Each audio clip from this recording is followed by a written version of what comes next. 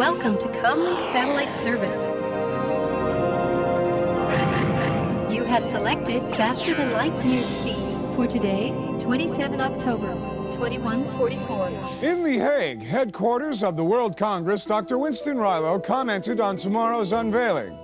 Dr. Rilo, we've heard rumors of an astounding discovery on the asteroid. Is that true? Rumors? I will not comment on rumors. FTL will have to wait until tomorrow like everybody else.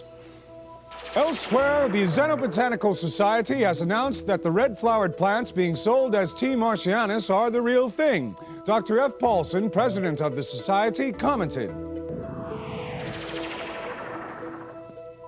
This could be catastrophic. Who knows what havoc the introduction of an untested plant could wreak upon Earth's biosphere? This threat must be rooted out at once.